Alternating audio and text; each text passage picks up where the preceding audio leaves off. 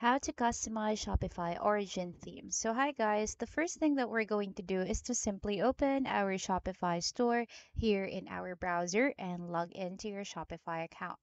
Now here, once logged in, go to the sales channel in the left hand side of your panel and under that one you can see online store and go to your theme section. Under your theme section, if you scroll down onto it, uh, you will be routed to this page where you can actually see like free themes.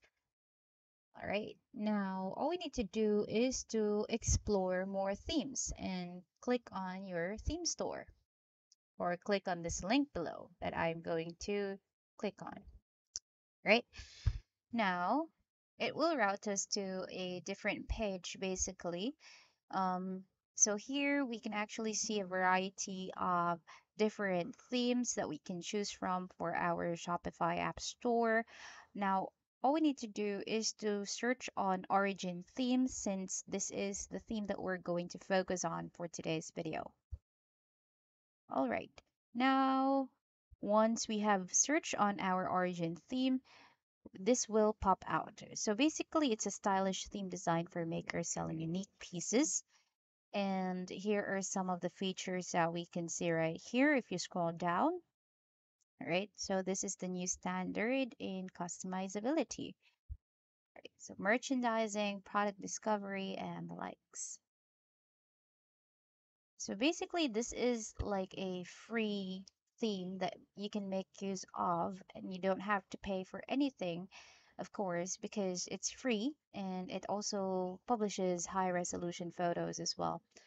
Now, if we go back above, we can see our review section here. So as we can see, there are only two reviews for our origin theme. Um, it's like 50% good and 50% bad. Now, we are going to take a look at the demo store first to take a peek on how origin theme looks like. So basically, it focuses on the branding and how your style um, of your shop looks like, and even gives a good to know information about your store. So it builds your store's character basically. Now let's try the theme already.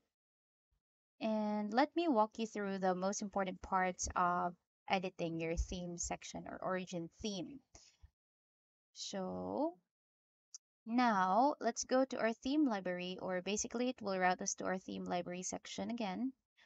And then once it has been added, um, customize it.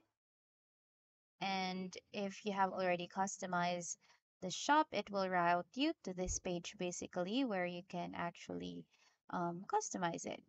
So here, let's go to our theme settings button so this button is the most important part because this is where you can actually um, add photos, your background, uh, your logo, and this is where you can change the font and whatnot. So let me walk you through or like give me you an example of how to edit it. So for example, we're going to add a theme to our um, store, then we can click on logo. And then here for our colors, uh, so for instance, we want to change the color of the text inside the button. So we can do that by simply select selecting solid button label and then just dragging to the color that, of your choice basically. All right, there you have it. Now, as you can see, it has become red in color. It's not too noticeable since the color of the button and the color of the text is not um, cohesive to each other. Now, if you try to drag accent 1, the button is changing its color basically. And that's how you change the color of the buttons and whatnot. So for example, we want to change the background color as well. So we can actually do that by clicking on background color right there and simply choosing a color of your choice.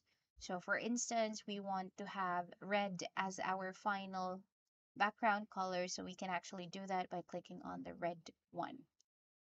Okay, now moving on. to the next part, you can actually also edit the font as mentioned again.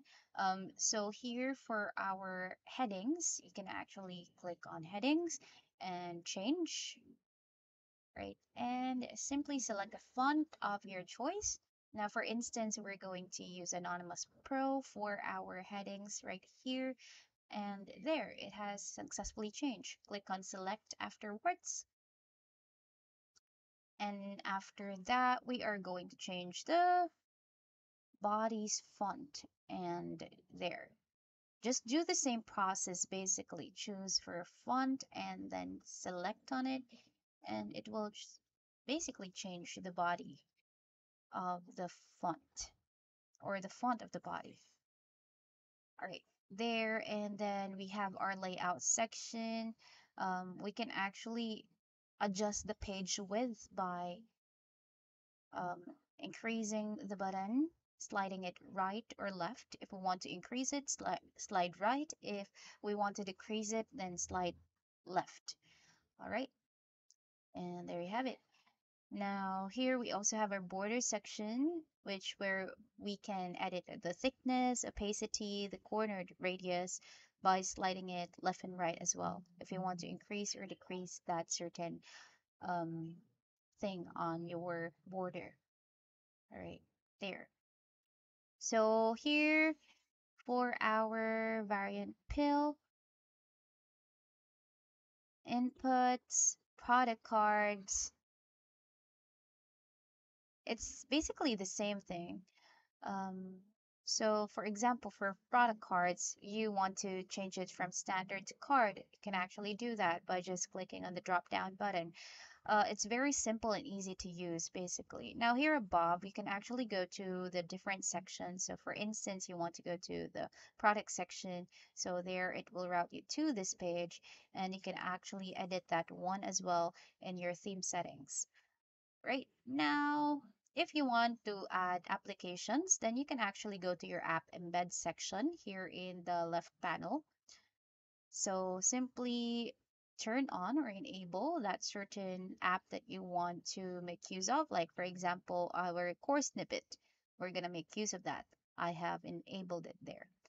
Now, next is that if we go to our home page, basically, um, it will route us to our page. Now, hit on save once you're done. And if you are already satisfied with how you edited your page, and then it will go back or you will simply go back to your online store under themes, we can see that our origin has been customized already. Click on publish and then publish right there.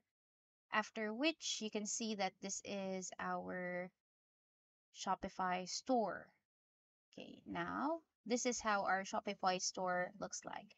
And that's about it for today's video, guys. Hope you find this helpful and thank you so much for watching.